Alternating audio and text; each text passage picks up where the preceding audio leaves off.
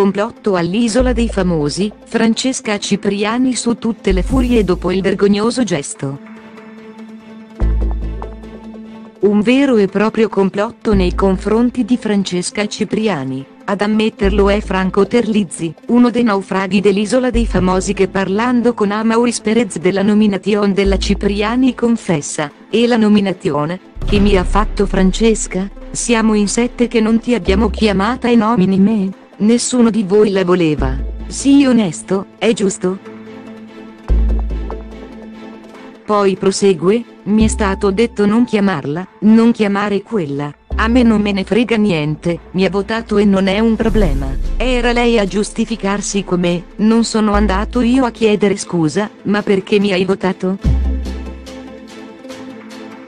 Non le ho detto niente perché ognuno di noi può fare quello che vuole. Franco non ha nascosto la delusione per il voto di Cecilia Capriotti, che lo ha nominato e parla del rapporto con suo padre, un uomo, che non ha mai dato molto alla famiglia. Non ci parliamo da 20 anni, lui non è mai stato presente.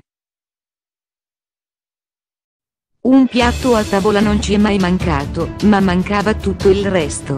Mi mancava l'affetto di un padre, quello che provo io per i miei figli o le carezze che non abbiamo mai avuto.